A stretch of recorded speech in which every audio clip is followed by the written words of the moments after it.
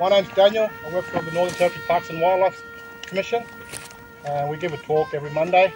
Um, a little bit about Karlu Karlu uh, Conservation Reserve, as well as um, uh, day in the life of a park ranger within the Barkly region. So hair made from initiated boys. After they've been initiated, they grab the hair off them and they cut the hair and he made all these belts. And as he's walking through the country, he dropped all these little balls of hair and it formed formed the marble, uh, marbles. So it's very funny how the story um, relates when the first settlers came in here and seen the country. They said it's devil's country. When uh, the other story, the blackfellow story, is um, kind of the same with um, yeah the black um, the Kuraja man walks through here and um, yeah he dropped all the, the turn of the marbles into um, rock. Yeah. So it's yeah it's Karlu Karlu, uh, Devil's Marble. Um,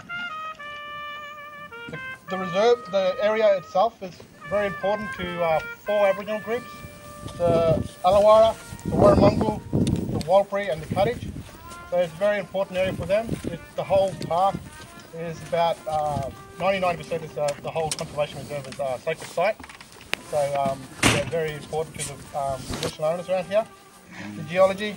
So around, around 1700 million years ago, uh, the molten magma rose up from the Earth's crust, and as it cooled over time, um, the hard granite rock was formed. And then over time, through wind, um, rain, water, um, erosion occurred, and then slowly the onion effect, they call it, um, mm. slowly um, eroded onion around and yeah. forming the hmm. circle mm. thing. So, firstly, the, when it first happened, it was um, like the cracks occurred um, diagonally like a square, and then over time the wind and water um, just rounded all those boulders over time. So, you know, very important for, uh, for a lot of animals as well.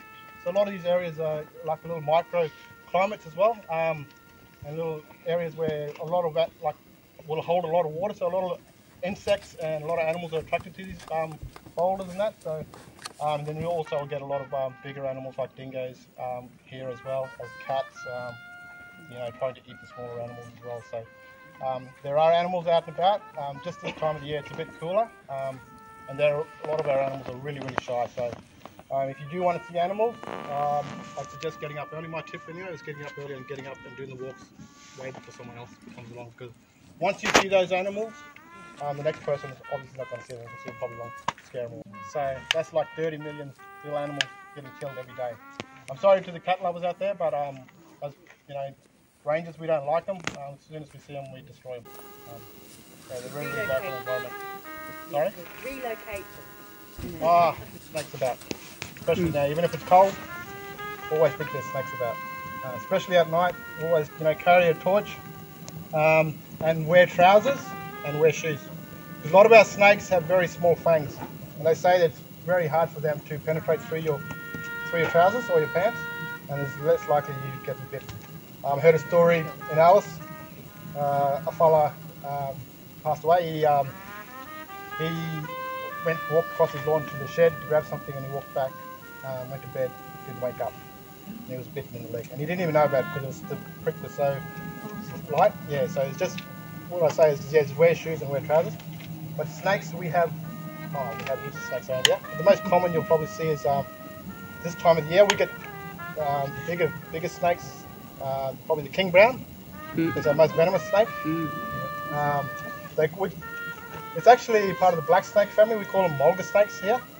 Just a couple of weeks ago, we um, John come across two big snakes just over in the Dayus area and they were wrapping each other around, trying to knock each other down. Um, they were at least two meters long, Jeez. both of them. They were big, big, big snakes, and they can get bigger as well. I've heard um, the one in the reptile centre is about two and a half. I don't know what they're feeding it, must be some steroids or something, but it's a, it's a big snake. So um, yeah, and look, and that's just like if you yeah if you get bitten, obviously you know you, you get a bandage, wrap it around. But I've got a bit of a story. Um, a long time ago, like um, snakes, you know, Aboriginal people are really, really scared of snakes because usually you associate snakes with death.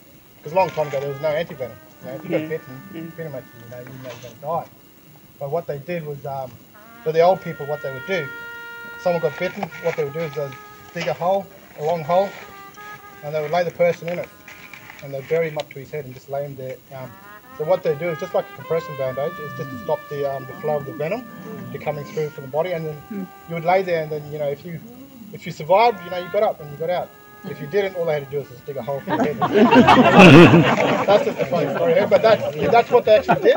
Um, yeah, so um, that's what um, you know, the old people used to do to, and it's just like a compressor bandage. It's just stopping the venom from traveling up into your major arteries and you know and things like that as well. So um, yeah, and we yeah, there's about we have about three pythons around here. We have the black-headed python, the Stimson's python, and the common carpet python here around here as well.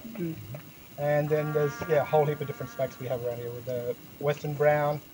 Um, we have the, also have the eastern brown here, and yeah the mulga snake obviously yeah pretty Are common they around here. active at night? They are active at night, and um, the bigger body snakes as well, because they're a bit bigger. They can actually handle the cold a bit more, and um, they might be basking in the sun during the day, and then um, they'll get them warm enough to get out and about. And especially if you guys are traveling up north, um, it gets a bit warmer up there, and snakes are out and about all the time. So just be mindful of that as well. Um, yeah. Um, we also get uh, perenties here around here. I don't know if anyone's heard about a perentie. But perenties are um, Australia's largest lizard, and they get to or about two and a half meters. They're the big biggest lizard. I think they're third, third or fourth behind a couple of um, monitors like the Komodo dragon is obviously the biggest, and there's one in Asia and Africa that are a bit bigger. But the perenties um, actually our biggest lizard, and it's probably um, one of our top predators around here.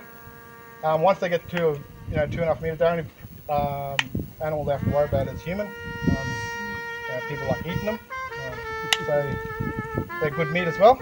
Um, but yeah, like the perentie is actually very important around here. And then we've got the sand goanna. The perentie, the perentie itself is actually they've I've heard talking to scientists, I work with a lot of scientists. They say they're closely related to snakes and more than other monitors. Um, they have forked tongue just like a snake does. Um, and they also found out recently that they thought it was just like the Komodo dragon that the bacteria in their bite was um, you know, killing the animal.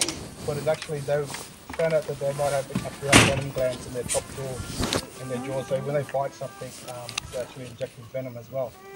Um, so they get really big, and once they get that big, they just trot around just like they own the place. They're not scared of anything. So, um, another thing I would say is like if you ever come across a perentie, and um, people say run, yeah, run, because don't stand still, because they'll think you're a tree and probably run towards you and run up you. So you got to be careful. They got very sharp claws as well. So um, uh, and that they brought their best camels basically from Afghan, and um, the ones that didn't survive was pushed off the ship. And um, once they got here, you know, they did really well. They to the country, they marked out the country.